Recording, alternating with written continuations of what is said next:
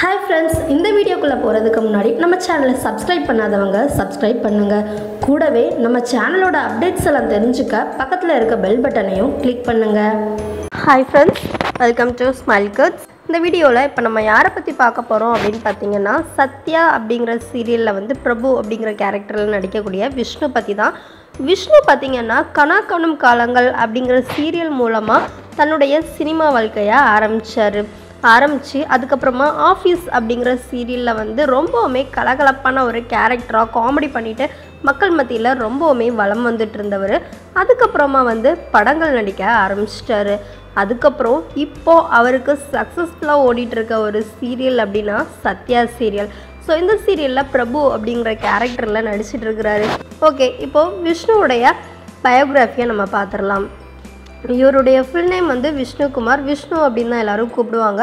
இவர் பிறந்தது seventeenth September nineteen eighty செவனில் இப்போ இவருடைய ஏஜ் வந்து தேர்ட்டி டூ இவர் சென்னையில் தான் பிறந்தாரு சென்னையில் தான் வளர்ந்தாரு சென்னையில் தான் இருக்கிறாரு.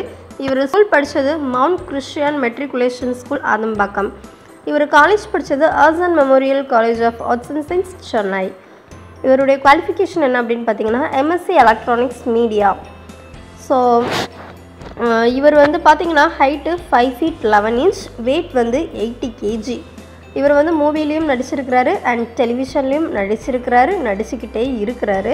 ஸோ ரெண்டாயிரத்தி பதினொன்றில் வந்து ஒளிபரப்பான கணக்காணும் காலங்கள் கல்லூரியின் கதை மூலமாக தான் இவர் வந்து இந்த சின்ன திரையிலே வந்து அறிமுகமானார். ஸோ இவர் ஒரு ஹிந்து தான். இவருடைய ஹாபிஸ் என்ன அப்படின்னு கேட்டிங்கன்னா ஃபோட்டோகிராஃபி அப்படிங்கிறது வந்து இவருக்கு ரொம்ப பிடிக்குமா? ஃபோட்டோஸ் எடுக்கிறது எல்லாமே. ஸோ இந்த கணக்கணும் காலங்கள் அப்படிங்கிற சீரியலில் வந்து ஹரிப்ரியா கூட பண்ணியிருந்தார். இதை டைரக்ட் பண்ணது வந்து ராஜா. ஸோ பார்த்தீங்கன்னா இவர் இன்னும் நிறைய பேர்த்து கூட வந்து ஆக்ட் பண்ணியிருக்கிறாங்க.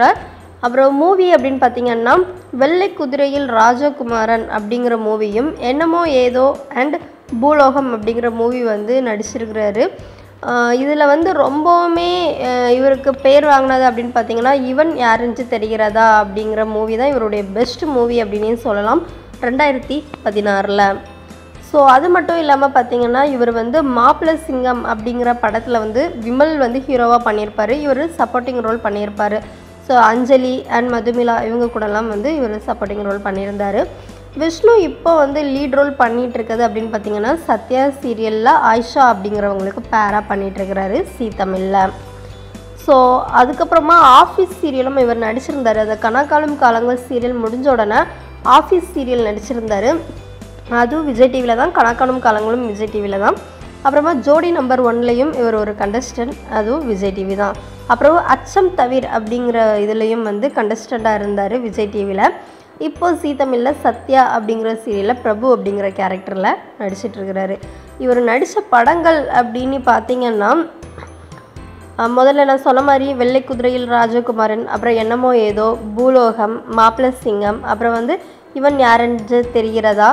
அப்புறம் வந்து பார்த்திங்கன்னா ஆறு அத்தியாயம் கலரி சிவப்பு சேவல் கொரில்லா இந்த படத்துலலாம் கூட நம்ம விஷ்ணு வந்து நடிச்சிருக்கிறாரு. ஸோ கண்டிப்பாக வந்து விஷ்ணு வந்து சூப்பரான ஆக்டர் அப்படிங்கிறத இதிலேயே காமிச்சிட்டாரு.